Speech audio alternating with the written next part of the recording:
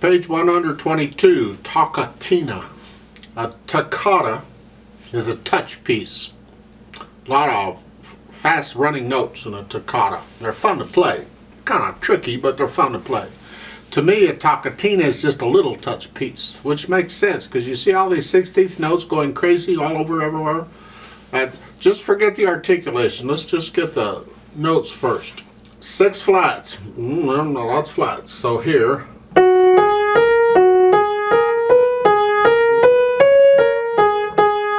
Position. Left hand's here.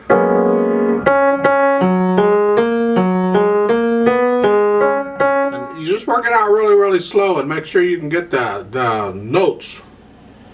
The rhythm shouldn't be a problem. They're all 16th notes. It's just one eanda, two eanda, one eanda, two eanda, and you take it any speed you want for, while you're learning it. Then you get down to the second line, second measure. Now we got repeated notes.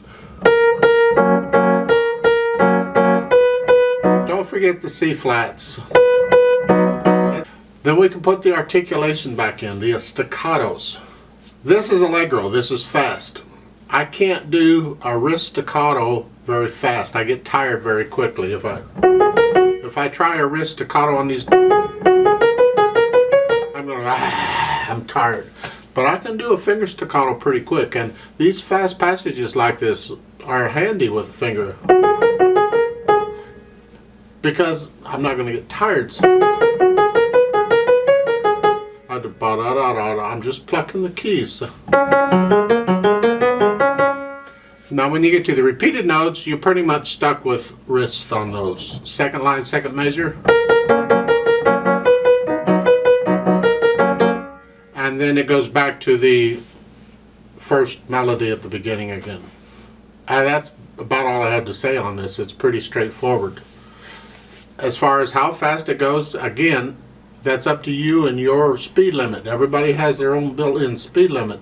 They have to be even and controlled. These notes, and if that's as fast as you can go, then that is your Allegro. And that's it. When we do the play with me, I'm going to go slow because I just want to double check the notes.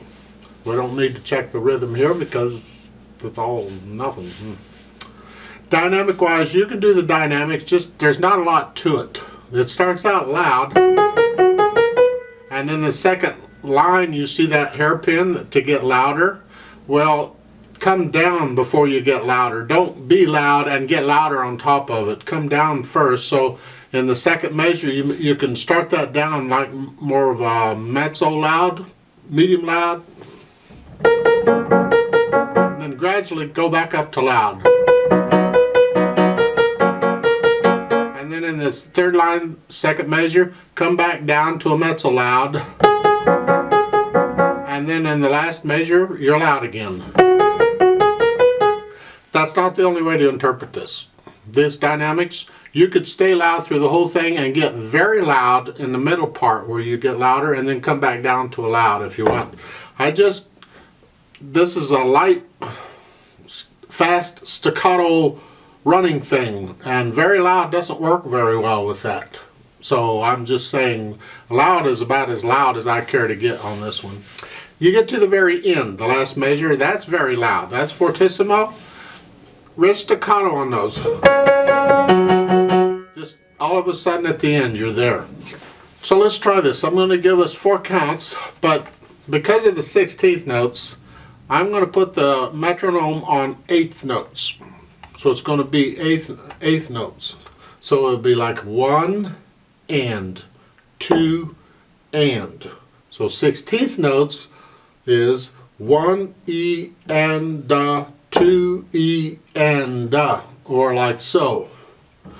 One E and da, two. So get to where you can play it this fast and then play it with me and we'll try it. It goes a lot faster than this, but get this fast at least to start with. I'm going to give us two quarter note counts. So go ahead and put your hands in the positions they go and we'll play this. One E and uh, two E go. Uh, one.